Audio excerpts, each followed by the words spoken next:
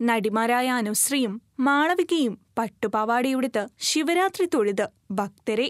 താരസുന്ദരികൾ ഇഷ്ടവര പ്രസാദം സ്വന്തമാക്കാൻ ശിവരാത്രി നാളിൽ ക്ഷേത്രദർശനം നടത്തി ഭക്തർക്ക് ആശംസകളും നേർന്നു.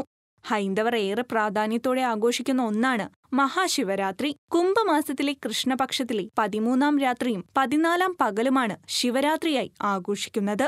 ഇന്നാണ് ആ ദിനം. കേരളത്തിൽ ആലുവ ശിവക്ഷേത്രം പടനിലം പരബ്രഹ്മക്ഷേത്രം തൃശൂർ വടക്കുനാഥ ക്ഷേത്രം തുടങ്ങിയിവിടങ്ങളിൽ ശിവരാത്രി മഹോത്സവം വിപുലമായിട്ടാണ് ആഘോഷിക്കുന്നത്. സിനിമാ സീരിയൽ രംഗത്ത് പ്രവർത്തിക്കുന്നവർ തങ്ങളുടെ ആരാധകർക്ക് ശിവരാത്രി ആശംസിച്ചുകൊണ്ട് പോസ്റ്റുകൾ ഇടുന്നുണ്ട്. കൂടുതൽ പേരും ശിവന്റെ ഒരു ഫോട്ടോയോ ഏതേലും ശിവക്ഷേത്രത്തിൽ നിൽക്കുന്ന ഫോട്ടോയോ പങ്കുവെച്ചുകൊണ്ടാണ് ആശംസകൾ അറിയിക്കുന്നത്. കോവിഡ് സാഹചര്യങ്ങൾ കുറയുന്നതുകൊണ്ട് തന്നെ വലിയ രീതിയിലുള്ള ആഘോഷങ്ങളാണ് നടക്കുന്നത്. പ്രശസ്ത സിനിമാ നടിയായ അനുശ്രീ പട്ടുപാവാട ഉടുത്തുള്ള ചിത്രങ്ങളാണ് പങ്കുവച്ചത്. കർണാടകയിലെ പ്രശസ്തവും പുരാതനവുമായ മുരുടേശ്വര ക്ഷേത്രത്തിലെ വലിയ ശിവപ്രതിമയ്ക്കൊപ്പമുള്ള ചിത്രങ്ങളാണ് അനുശ്രീ പോസ്റ്റ് ചെയ്തത്.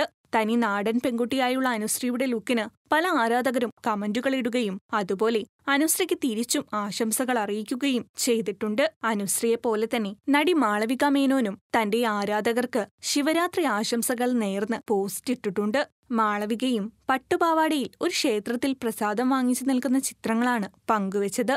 നീല പട്ടുപാവാടയിൽ ഒരു ദേവിയെപ്പോലെ തോന്നിക്കുന്നുവെന്നാണ് ആരാധകർ പറയുന്നത്. ഇവരെ കൂടാതെ വേറെയും താരങ്ങൾ ശിവരാത്രി ആശംസകൾ നേർന്നിട്ടുണ്ട്. എല്ലാവർക്കും ഞങ്ങളും നേരുന്നു ശിവരാത്രി ആശംസകൾ.